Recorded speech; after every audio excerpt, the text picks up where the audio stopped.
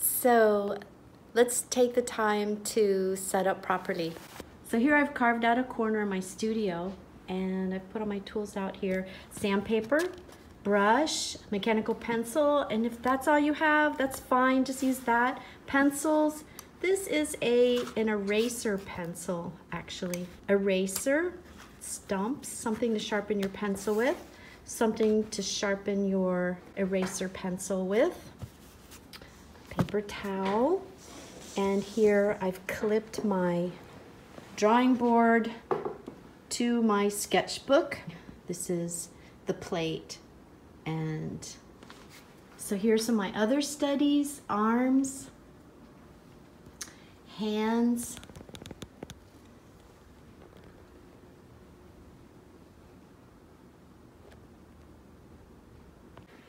You always want to start with your first impression. So think about how much space that is taking up on in the window. So just kind of scribble along following some tilts and angles. Just get your very first impression, keeping your lines light and loose, long and fuzzy. And just keep going around and around and around until you know you're starting to to see something in there. Draw from the mist, as one of my teachers used to say. So once you get it organized a little bit, then you can go back and you can say, okay, let's look at these tilts and angles a little more slowly. Let's go over them one at a time and get the lines just a little bit darker.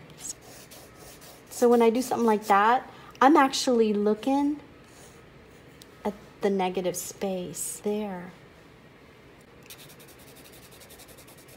And when I'm doing that, I'm actually looking at the negative space there. Now we're gonna kick into high gear.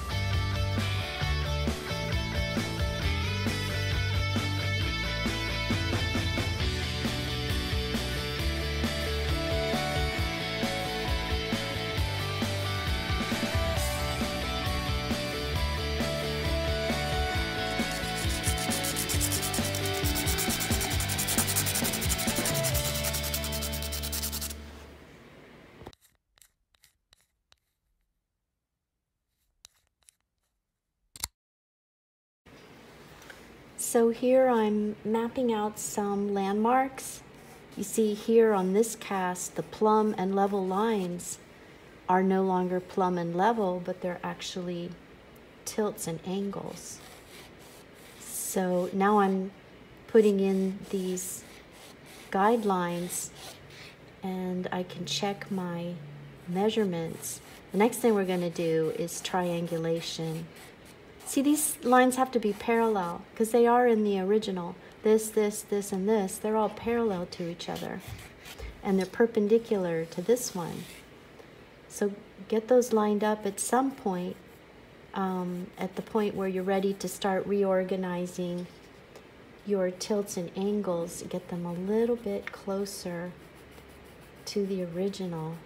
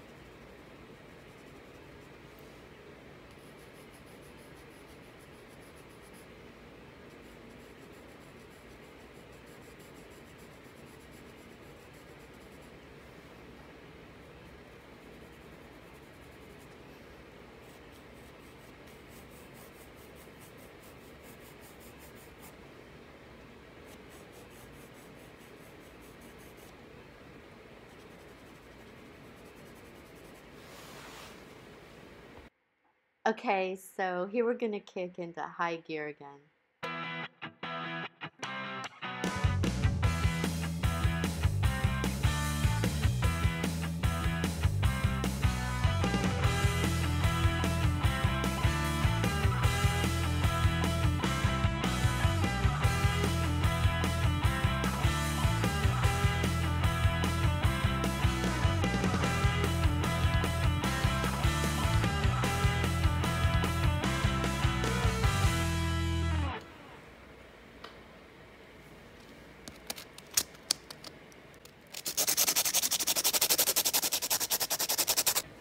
So let's talk about triangulation here. So you have your original on the left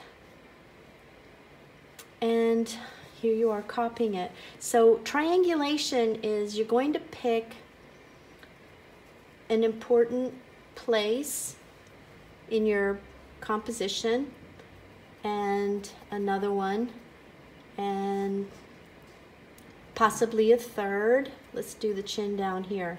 And then you're going to drive a straight line through those three points. So yeah, you're gonna make a triangle, okay?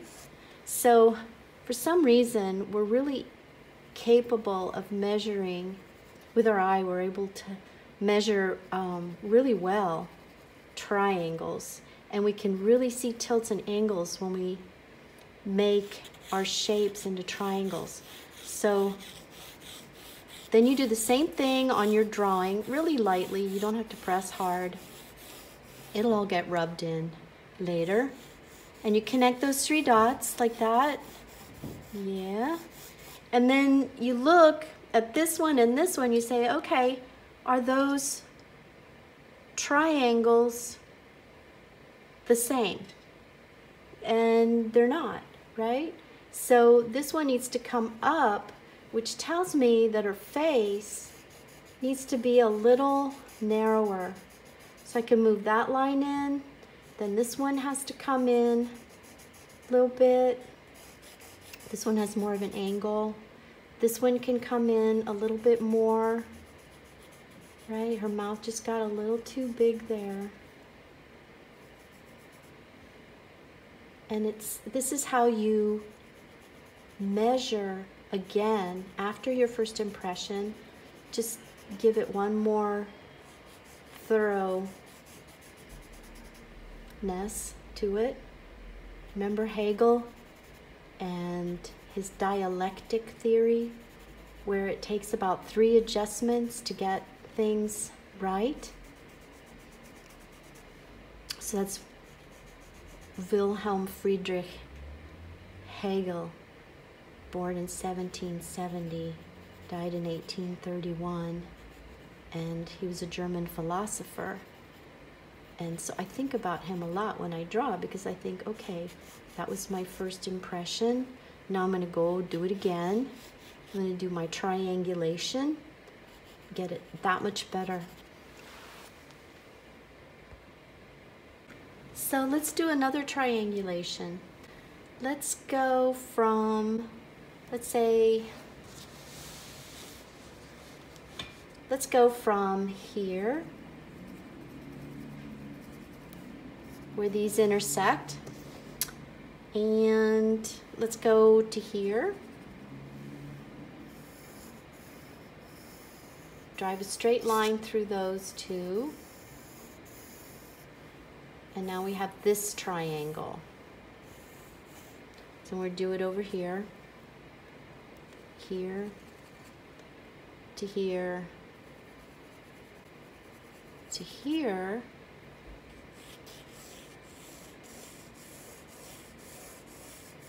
That looks pretty good, actually. So then I have an extra line that I can measure these two. And you see here on this shape, this needs to be a little fatter.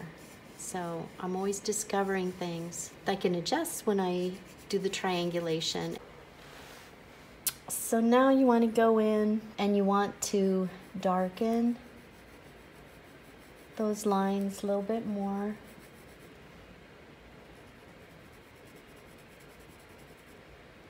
Still keeping them kind of fuzzy. Not carving them into the paper. Because they're hard to erase once you carve into the paper.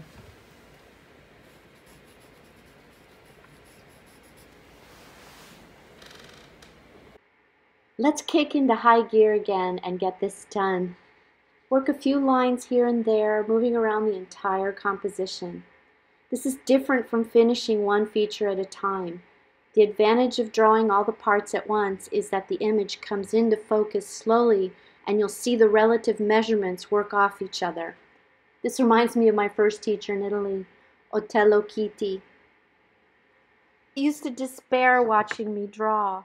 He'd say, you Americans, starting with the details. That's not how it's done in classical drawing. Draw from the big shapes to the little shapes. So the second part of the drawing is the rendering. You'll take the information from the second plate and you'll put it right on top of your first drawing, which is called the envelope and this second part is called the rendering. I'm using the same pencil, it's still an HB. I'm just gonna block in all the shadows.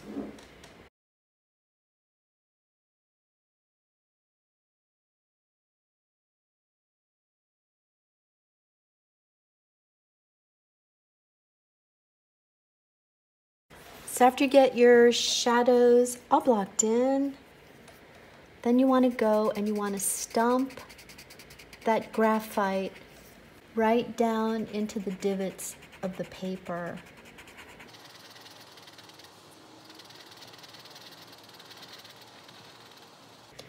Keeping the transitions where that shadow shape ends kind of soft, like you just kind of go over it a little bit with the stump, go right past that edge a little bit right? And you've got all this graphite on your stump and you can just pull it across the paper here. Let's kick into high gear again.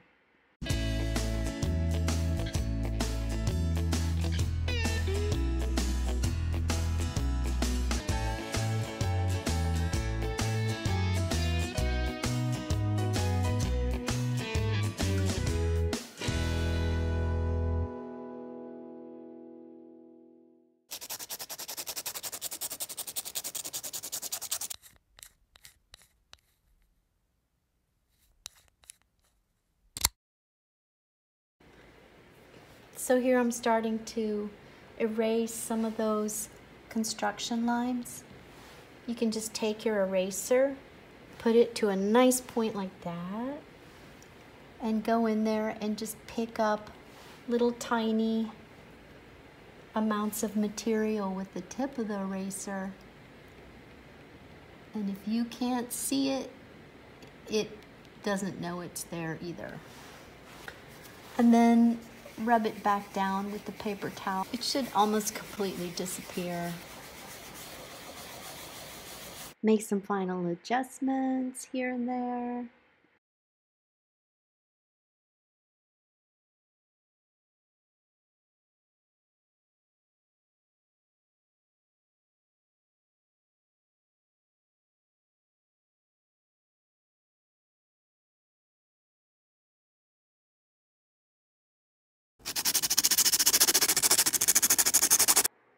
Bottom of my paper, I've created a value scale going from the darkest value to the lightest value in five steps. So you want to get your drawing to the point where every shape is a specific value. Like you'll have your shadow shape and then you'll have the core shadow and then you'll have a dark light and then you'll have a middle light, and then you'll have your light light. So that's five values. And every shape will be a value. You want to get it organized like that before you do your final rendering. Here you can see each value is a distinct shape.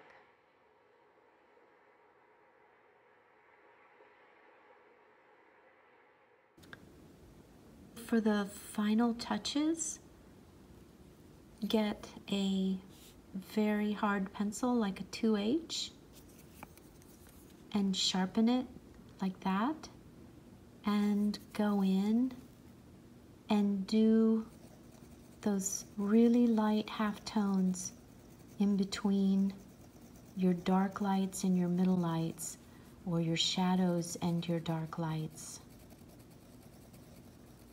and just sort of like burnish or stump that little bit of graphite in to the paper. See the 2H is such a hard pencil that it'll barely leave any darkness behind, just enough to make that transitional value.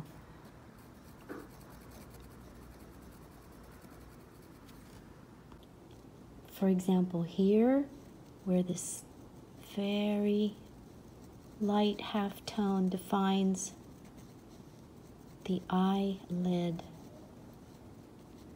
that's where you would use this kind of a pencil at the end. And here's the plate finished.